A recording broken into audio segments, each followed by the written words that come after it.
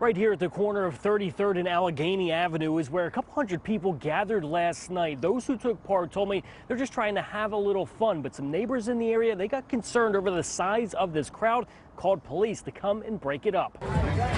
With little to do and virtually nowhere to go on a hot summer's night, some of the neighbors here along West Allegheny Avenue decided to have their own fun right outside their front doorstep. Just all good vibes, music, cookout, food.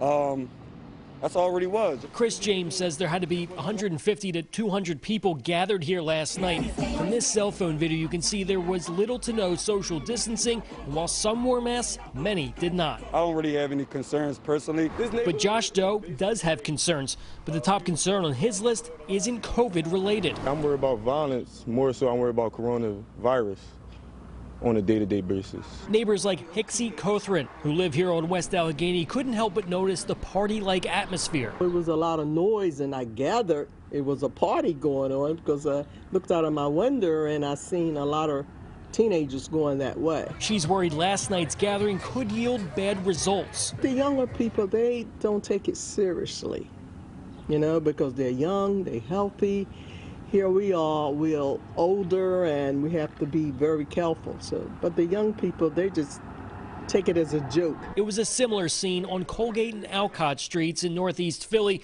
People unmasked, standing elbow to elbow. We weren't expecting the number of people that was out here is maybe about 500 people. Matthew Hawkins admits attending this event was a risk, and police did eventually show up and disperse this crowd. We weren't, uh, you know, negating the fact that COVID is around. Um, that actually was a big issue for the uh, police officer. So when he brought that to our attention, that's when we like subdued everything.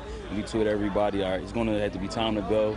And we're told that crowd did willingly disperse and nobody was arrested and there was zero violence at either gathering last night. In West Allegheny, Steven Fisher, NBC 10 News.